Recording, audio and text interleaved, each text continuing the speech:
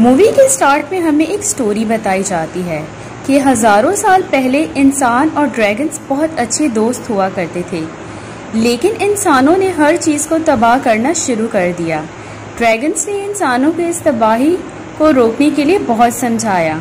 लेकिन इंसानों ने एक ना सुनी और इन्हीं पर अटैक कर दिया। इसी बीच एक शैतानी दिमाग प्रोफेसर पेट्रूशियस ने एक ड्रैगन बनाया और इसका नाम रखा नेटल ब्रांड पेट्रूशियस इस पर काबू नहीं कर पाता और खुद ही इसका शिकार बन जाता है। फिर नेटल ब्रांड ड्रैगन्स का ही शिकार करने लगा। ड्रैगन्स की आग का नेटल ब्रांड पर कोई असर नहीं हुआ। सारे ड्रैगन्स डरकर भाग जाते हैं और जाकर कहीं दूर छुप जाते हैं और नेटल ब्रांड थक कर अपने कैसल में चला जाता है। सदियाँ गुजर जाती हैं और इंसानों का पूरी दुनिया पर कब्जा हो जाता है। ये जंगल जला देते हैं। और बचे हुए ड्रैगन्स के पास खुद को राज की तरह दुनिया से छुपा कर रखने के अलावा दूसरा कोई रास्ता नहीं होता। फ़िल्म की शुरुआत होती है। मॉडर्न टाइम में एक पुरजोश young fight with the silver dragon से। एक वीरान जंगल में अपने ट्राइब के साथ रहता है और एक दुनियावी ज़िंदगी गुजारता है। ट्राइब का लीडर बॉटल नेक किसी भी ड्रैगन को आग उगलने और उड़ने की इजाज़त नहीं देता, ताकि ये इंसानी तवज्जो से बच सके। लेकिन फायर ट्रैक ड्रैगन की कहानियों से काफ़ी इंस्पायर्ड होता है और ये एक आज़ाद ड्रैगन ज़िंदगी गुजारना चाहता है। ट्राइब का सबसे बुज़ुर्ग dragon slate beard fire track को रिम ऑफ़ हेवन के बारे में बताता है। दुनिया की दूसरी तरफ़ ड्रैगन्स के लिए स्वर्ग है, जहाँ पर ड्रैगन्स इंसानी खौफ के बगैर आज़ादी से रहते हैं। फिर एक दिन फायर ट्रैक स्वर्ग के किनारे को फाइंड करने का ख्वाब देखता है। फिर वो वक्त आता है जब इंसान वादी में घुस जाते हैं। दरअसल इंसान यहाँ पर इंडस्ट्रियल डेवलपमेंट के लिए आए थे। इनका लीडर बॉटलनेक ट्राइब से कहता है, जब तक इंसान नहीं चले जाते, हम छुप कर रहेंगे। लेकिन फाइड्रिक अपनी बेस्ट फ्रेंड सॉरल के साथ जो कि एक फॉरेस्ट ब्राउनी होती है, ये दोनों सीक्रेट एडवेंचर पर निकल जाते हैं, ताकि ये एक अपनी ट्राइब के लिए सेफ़ जगह ढूंढ सकें। रिम ऑफ़ हेवन इनकी तलाश में। फाइड्रिक और सॉरल एक सिटी में उतरते हैं। ताकि इनकी मंजिल के बारे में मालूम हो सके। डॉग्स के करीब इनका सामना बेन से होता है, जो कि एक ऑर्फन होता है, जो ज्वेलरी की दुकान से चोरी करके पुलिस से भाग रहा होता है। फाइट्रैक इसे ड्रैगन राइडर के कॉस्ट्यूम में देखता है, और इसे लगता है कि ये रिम ऑफ़ हेवन को ढूँढने में इसकी मदद कर सकता है। पुलिस बेन की तलाश में यहाँ आ जाती है। खुद को गिरफ्तारी से बचाने के लिए बेन फायर ट्रैक के ऊपर बैठकर यहाँ से उठ जाता है। अब शुरुआत होती है अमेजिंग एडवेंचर की। इसके बाद कुछ ड्रॉप्स का सामना फायर ट्रैक से होता है। इनमें से एक ड्रॉप जिसका नाम ग्रेवल ब्रेड होता है, ये ड्रैगन की खबर नेटल ब्रेंड को दे देता है। ड्रैगन ईटर किसी एडवेंचर की तलाश में था और एक ड्रैगन को टेस्ट करने के लिए बरकरार। ये अपनी स्लेव ट्विक को हुक्म देता है। कि ये सिल्वर ड्रैगन का पता लगाए। नेटल ब्रेंड बहुत खुश होता है, क्योंकि ये दोबारा शिकार शुरू करता है।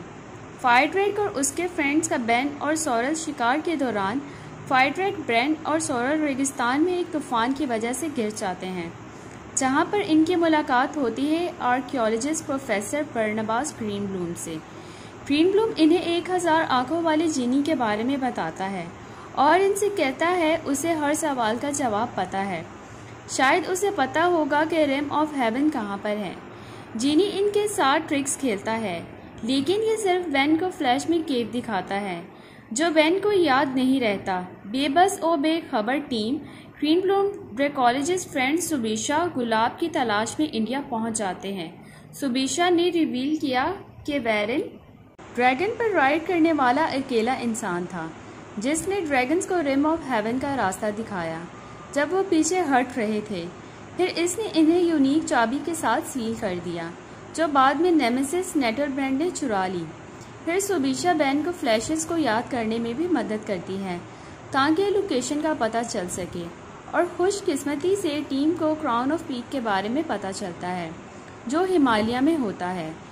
फिर जब टीम यहाँ पहुँची तो इन्हें दीवारों पर ड्रैगन की ड्राइंग्स के अलावा कुछ नहीं मिला। जब स्टोरी में कुछ नहीं मिला तो बैन इरिटेट होकर फाइड्रैक और सोरल को छोड़ देता है। और सब बहुत ज़्यादा दुखी होते हैं। तभी नेटल ब्रैंड इन पर अटैक कर देता है। बैन को नेटल ब्रैंड का आर्मर का एक टुकड़ा मिलता है। और फिर ये पहेली कोड डी कोड करता है, जो फ़िल्म के बिगनिंग से हमें बताई जा रही थी। बेन के मुताबिक नेटर ब्रांड एक सोने का ड्रैगन होता है और फाइड्रेक सिल्वर का ड्रैगन होता है। रिम ऑफ़ पैराडाइज के अंदर सिल्वर सोने से ज़्यादा कीमती होती है। हकीकत का इस्तेमाल करते हुए बैन ने फाइट ट्रैक को यकीन दिलाया कि वो नेटर ब्रांड को हरा सकता है। आखिरकार फाइट ट्रैक को अपनी अल्टीमेट पावर का पता चलता है। ये सिल्वर फ्लेम से नेटर ब्रांड को लिक्विड में पिघला देता है।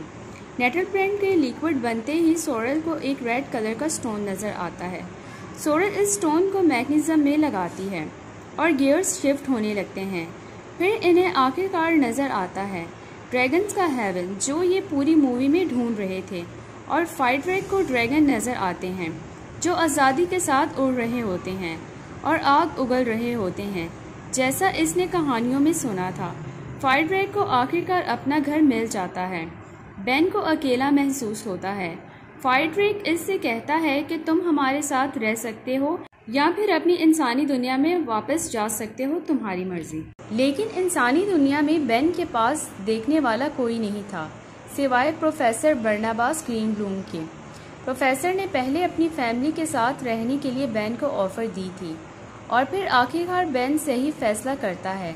बेन को फैमिली मिलने के बाद फायर ब्रेक और सोरल जंगल में वापस आते हैं और अपने ट्राइब को इंसानों पर हमला करने से रोकते हैं। ड्रैगन ट्राइब स्वर्ग की तरफ़ रवाना होते हैं और ये रिम ऑफ़ पैराडाइज जाते हुए रास्ते में बेन से प्रोफेसर ग्रीन ब्लूम की फैमिली के साथ मिलते हैं। दोस्तों, यहाँ पर मूवी ख़त्म होती है। Happy ending. Thanks for watching.